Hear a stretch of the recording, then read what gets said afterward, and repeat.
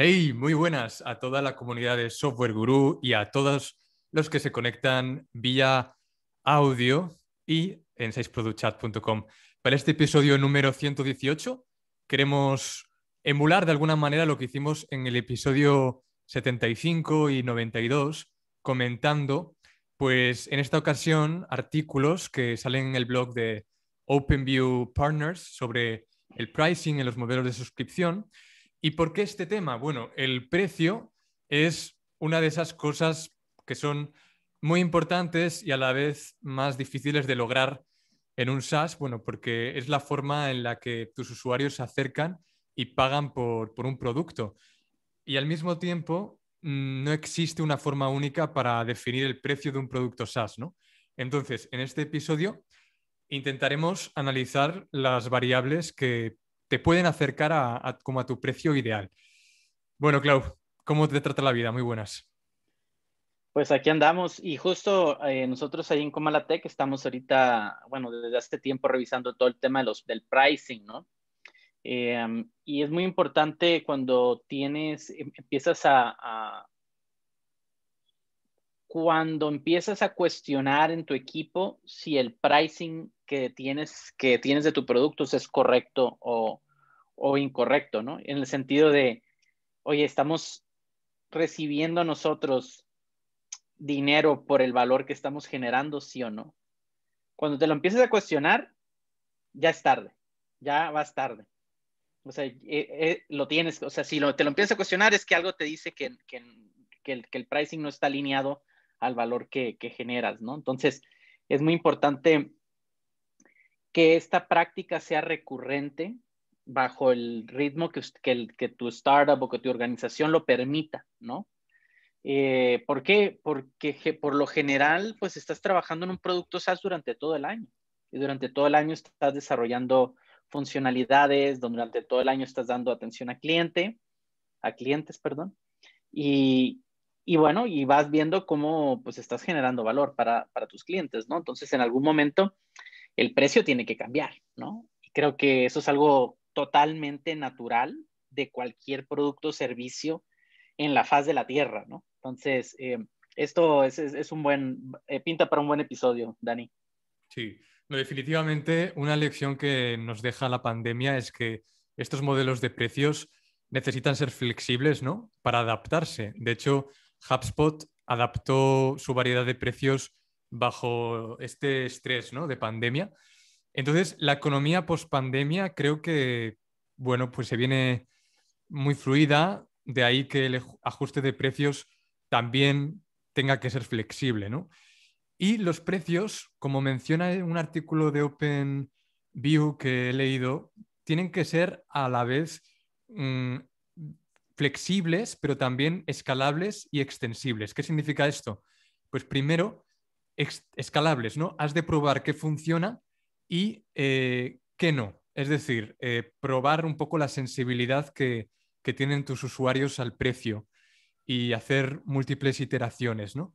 Eh, de hecho, conozco a muy pocas empresas que no hayan modificado su precio desde sus inicios, ¿no? Siempre hay casos donde, bueno, pues es irremediable también por un tema de, sostenibilidad.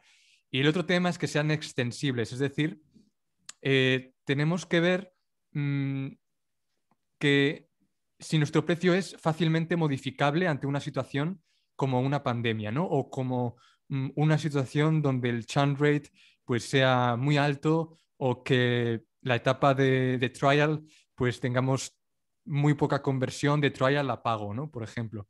Entonces, pues tenemos que ver qué factores añadir y quitar de la ecuación, es decir, qué, tan modificable es nuestro pricing. Y a partir de ahí, eh, pues hay que mantenerse en un constante monitoreo, escuchando a los usuarios y luego poniendo también un ojo en el mercado, porque pueden haber primero amenazas como COVID y también pues, los competidores pueden armar estrategias diferentes. Sí, y yo creo que el, tema del benchmarking es muy importante, ¿no? O sea, obviamente eh, hay, dos cosas que tienes que considerar aquí, ¿no? La, competencia es, importante porque al final ellos también te están, te están echando el ojo, ¿no? Están viendo tu pricing. Y es normal que tú también veas su pricing. Eh, el benchmarking de los features, ¿no? De cara, de, cara a cara, ¿no? Eh, también ver dónde tú eres, eh, tienes tus ventajas competitivas y dónde también ellos lo tienen, porque seamos honestos, no eres el líder de mercado. Si llegas a estar en una posición de líder de mercado, eh, sí es importante que, no te duermas en tus palmares, ¿no? Es que entiendas que hay otra oferta allá, allá afuera en el mercado que, que puede no estar relacionada a tus, a tus conocidos, ¿no? A tus frenemies, ¿no? Entonces, es muy importante cómo posicionas tu mercado, tu, perdón, tu producto, o sea, el posicionamiento es importante. Eh, y para esto es, debes de considerar, ok, ¿qué tanto me está costando a mí adquirir un, un, usuario, ¿no? O sea, es ya orgánico, lo tengo que pagar, ¿no? Y todo eso, obviamente, los, los, el pay per click no se queda estático, ¿no? o sea, seamos honestos, entonces ahí vas a tener el reto de, ok, estar aumentando mis costos, pero yo no estoy aumentando mi precio. Entonces, eso quiere decir que estás ganando menos. Entonces, eso es lo primero que tienes. Y ahí es cuando, cuando te empiezas a preguntar, oye, ¿estarán bien mis precios? Porque obviamente estás viendo que tus costos están, están subiendo, estás contratando más gente, eh, cosas naturales del negocio, ¿no? Que es, conforme más clientes tienes, tienes que tener más equipo detrás. Eso es así de sencillo. Tus costos de Amazon, de Google Cloud, de DigitalOcean van a subir. Entonces no te puedes quedar con el mismo pricing, ¿no? Entonces ahí es donde tienes que justamente tú evaluar, ok, ¿cómo voy a hacer el pricing? ¿Es un value-based pricing, cost pricing? O sea, hay diferentes, y, ahí los vamos a poner en las notas, ¿no? Hay diferentes maneras de, sacar los, el, pricing en base a costos, en base a valor, pero lo más importante es que se pague la fiesta. O sea, al final, tú vas a tener que hacer un corte a mes y ver si realmente de aquí le está sacando dinero o no le está sacando dinero, ¿no? Eh, si lo estás haciendo, si esto es tu side project y es por, ¿no? Por, para aprender y todo eso, perfecto. Pero si de este producto dependen que tú pagues la nómina y te pagues a ti mismo y tengas una vida bien, pues te aconsejo que revises muy bien tu, tu, este, tu visión de producto, ¿no? Si no estás dando el ancho, ¿no? O sea, si no, si no está pagando los costos. Sí, sí. Yo también quiero hablar del, del precio basado en uso, que es interesante, pero antes de entrar ahí me gustaría tocar el aspecto del Product-Led Growth, que es una, uno de los aspectos que tocan los artículos de OpenView, que creo que tiene mucho que ver con el pricing, porque cuando un producto es conducido por el growth y por la ingeniería, eh, el pricing y el marketing va en función a las features del producto. Es decir, cuando el producto y growth va muy de la mano, que en pues es, lo normal, ¿no? Eh, al menos en, cuando hablamos de suscripción y productos SaaS, lo que crea esto es una, es una retención sostenible, ¿no? Exponencial. ¿Por qué? Porque vas a crear un producto que lleve a los usuarios a hacer cosas mm, que necesitan hacer para, hacer para, para conocer el por qué de usar tu producto. Es decir, para crear un hábito con el producto. Y estos flujos de retención, impulsados pues por cupones o por referidos, funcionan porque alguien ha desarrollado una estrategia y, se ha implementado, por lo que growth y marketing van, van totalmente de la mano, ¿no? Y mantener esa constante investigación de tu cliente potencial y preguntarles cuánto están dispuestos a pagarte pues dependerá mucho de las features que implementes, ¿no? Por eso, yo pienso que cuando una empresa tiene muy bien pulida la parte de adquisición desde el lado de marketing eh, y su manera de crecer exponencialmente es en base a la retención y en base al producto que tienen, pues ahí es cuando ya eh, empezamos a medir métricas de negocio eh, que tienen mucho sentido. ¿no? Hemos hablado muchas veces de métricas, os recomiendo que os echéis un vistazo al feed de nuestro podcast, pero al final mi conclusión aquí en Product Led Growth es que el producto habilita que tú puedas hacer marketing y ese marketing finalmente te ayuda a que eso se vuelva atractivo para los usuarios. Y yo creo que juntar a una persona de marketing con ingenieros y con diseñadores de producto crean este, cómo, cómo funciona. O sea, ese, ese, mecanismo y esa, forma de trabajar creo que te lleva a, vender más al final. Sí, es, es, es cómo aceleras ese conocimiento, esos insights, ¿no? Para también tú ver, eh, tener bien claro el valor que estás generando, ¿no? Eh, el tema de product-led product growth eh, es bastante, no es algo novedoso, o sea, ya es más bien le pusieron ya unas siglas a algo que ya se venía haciendo desde hace años, que es, ok, todo el tema de Customer Discovery, ¿no? O sea, cómo tú eso lo se transfiere en un valor a través de features que tiene un producto por lo cual genera esa, demanda del producto, ¿no? Y luego, obviamente a esa demanda, pues tienes que irle midiendo eh, un pricing que te permita, pues, convertir a todos esos usuarios que están en trial, ¿no? Eh, muy importante, el tema del pricing eh, es algo que debes estar revisando, a mi parecer, cada seis meses. ¿Sí? ¿Por qué? Porque entran nuevos competidores, porque hay cambios en el mercado.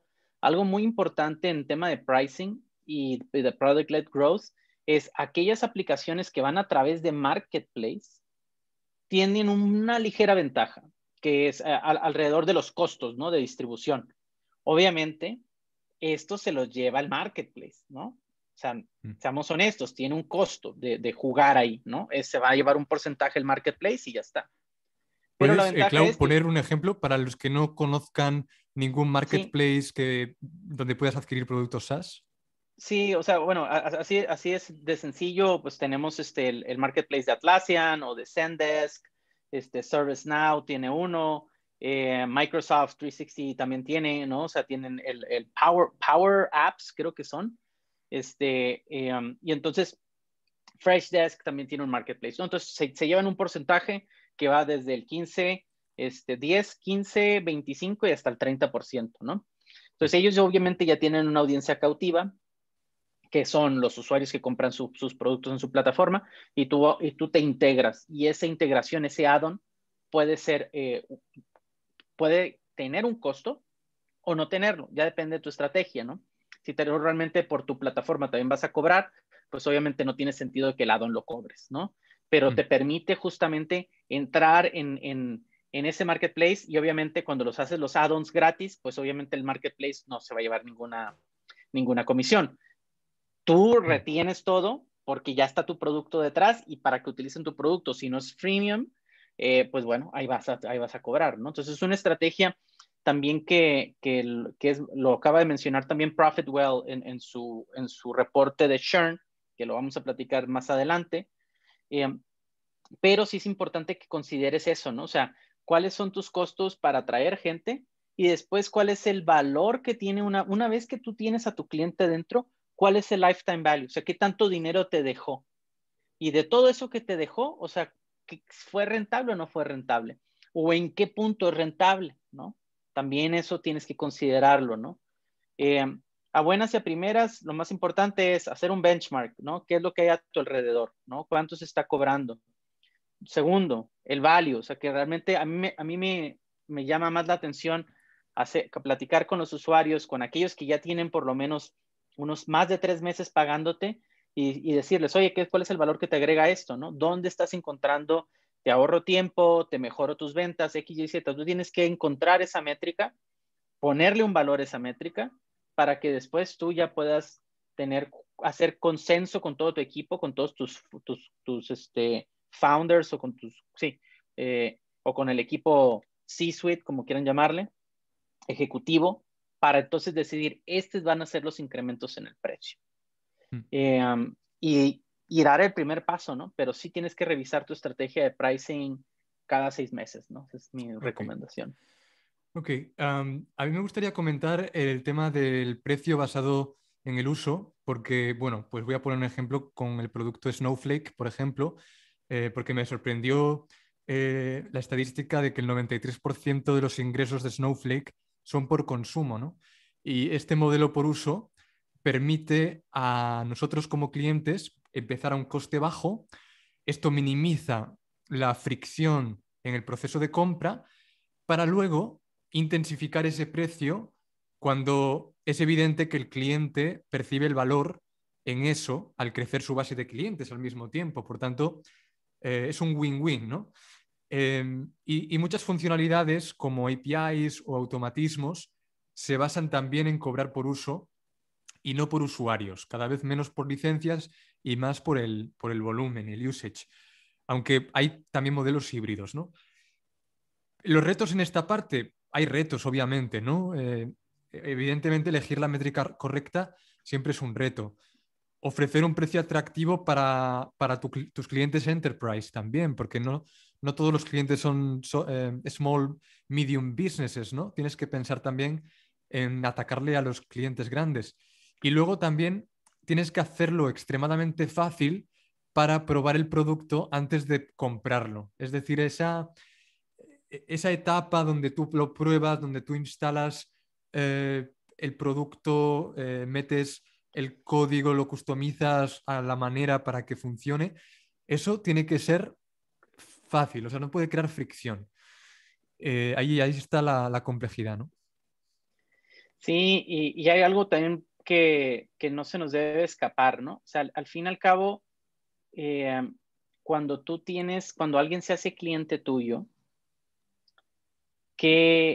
¿cuál es la facilidad que ellos tienen de pasarse a otra plataforma, ¿no? O sea, eh, el tema del churn sí, sí hay que considerarlo, ¿no? Hmm. ¿Por qué? Porque una vez que tú, y esto es así, ¿no? Es la naturaleza de la bestia, ¿no? O sea, es, yo entro contigo, te pago dos, tres meses, ya veo que algunas funcionalidades que no me funcionan tanto y me brinco a otro, ¿no? Eh, tienes que ir investigando eso, ¿no? Porque si tú un cliente por lo general solamente lo retienes de, no sé, de, dos a, cuatro meses o cinco meses o seis meses, pues tienes que sacarle el mayor jugo posible a eso, ¿no? Si ya sabes que se te van a ir por X, Y, Z razón, ¿no? Por temas de que el otro es SOC 2 compliant, me da 24/7, tiene SLAs, X, Y, Z. Habrá cosas que quedarán fuera del scope de tu producto. Entonces, si eso representa más del 10% de, las de los clientes que tienes, entonces tienes que considerar un pricing para que se, que se te van a ir en seis meses, que básicamente tú eres el escalafón, ¿no?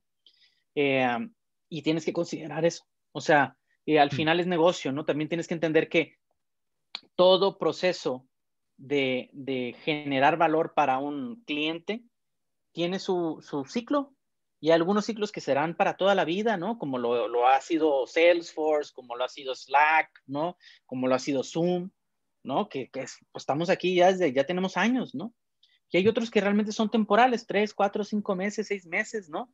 No sé, el tema de Rome Research, el tema de, en algunos de Notion, cosas que se utilizan puntualmente para ciertos proyectos y después se dejan de usar. Entonces, obviamente tienes que también considerar eso, si la temporalidad del uso de tu producto es importante para el pricing. Sí, dejo, Clau, eh, en la descripción el blog de Reforge, que tiene artículos muy buenos sobre churn y eh, eh, retención. Y, ellos tienen también este, el, el, ¿cómo se puede decir? Creo que tienen, o el pricing calculator, creo que es de Profitwell, ¿no? Pero bueno, lo vamos a poner ahí en los, en, en los comentarios, en, en, la descripción, para que, el, ojo, eh, algo muy importante, voy a hacer, ok, Claudio, voy a hacer el, el, el, el, entrar en esta dinámica de ajustar mi pricing. ¿Qué tanto tiempo lleva? Lleva de dependiendo qué tanto, qué tan grande sea tu, base de instalación, eh, si tienes más de 500 clientes, te vas a tardar más o menos como de dos a tres meses, ¿no? Eso es lo, típico, porque tienes que dar una opción, la, primera opción, ¿no? Que es así, la segunda opción, que es así, la tercera opción, que es así, y tener diálogos, ¿no? Tener diálogo con tu equipo de ventas, tener diálogo con tu equipo de customer support, tener diálogo con tus partners si tienes de distribución, porque no es una decisión que debes tomar a la ligera. ¿sí? Una vez que haces el incremento del precio, te tienes que agarrar el cinturoncito, ¿no? Ponerte el, chaleco de, profesional, ¿no? Y aguantar los golpes que vayan a venir porque va a haber gente que te va a reclamar, ¿no? Pero tienes que tener el script para decir, estas son las razones por las cuales hemos incrementado el precio, ¿no? De hecho, Clau, yo creo que es más fácil convencer a un usuario que recién entra a que se quede mucho tiempo que convencer a alguien que se va a que se quede realmente. O sea, realmente el ajuste de, pricing y establecer el pricing de un inicio es, muy importante. Em, y bueno, ya para ir cerrando, hay un punto importante que es el tema de la activación, porque el usuario puede adquirir esa suscripción pero mm, pues posiblemente no siga renovando hasta que genere ese hábito, ¿no? Así que puede estar bien ir de la mano con los eh, investigadores, user researchers de, investigación de UX para que entiendan ¿no? Eh, cómo se comportan los, los humanos al final. ¿no? Eh, hay un montón de metodologías, hemos hablado en el podcast de esto, para poder entender muy bien qué hacen y luego crear un producto que pues termine generando ese hábito.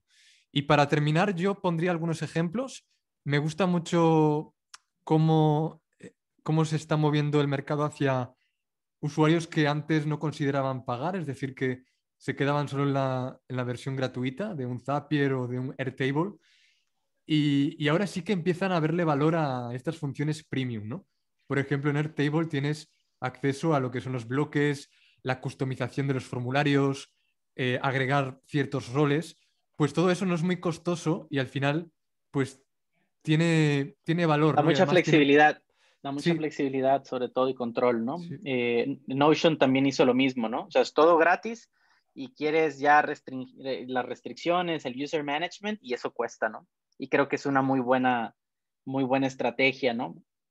No es para todos, si dependes, o sea, sí tienes que entender que va a haber un, un ciclo de vida y tienes que hacer un timing muy efectivo, ¿no? Entonces, eh, ojo con el tema. Eh, el tema de usage es muy bueno, pero también vas a perder, vas a dejar dinero en la, en la mesa, ¿no? Es decir, un Cisco y lo utiliza un equipo de 10 personas, pues nada más van a pegar, pagar por el uso de las 10 personas que tienen ese producto, ¿no?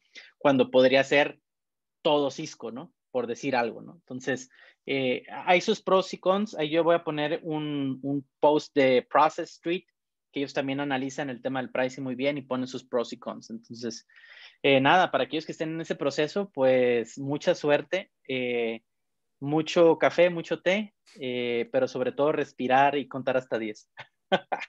Dale, Clau, que tengas un buen final de semana y nos vemos la próxima. Adiós. hasta Barcelona. Chao. Chao, chao.